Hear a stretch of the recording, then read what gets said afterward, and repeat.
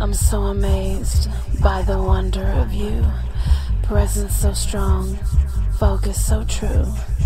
You've been through plenty, certainly loved by many, but you're still humble, magnificent you.